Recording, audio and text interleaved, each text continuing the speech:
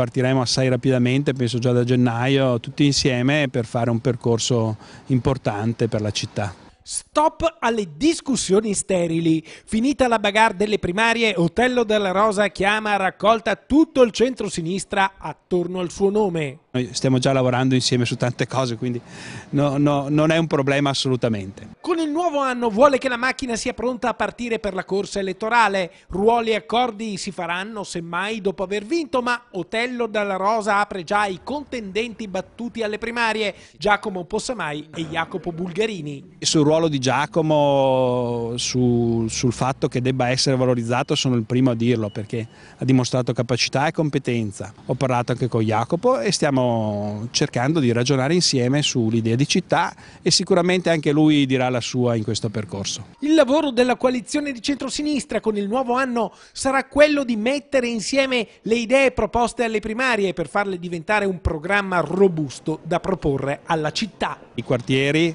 come abbiamo fatto in questa fase, eh, vanno ascoltati, vanno resi partecipi di una serie di scelte e di decisioni da cui deve uscire il programma finale per la città.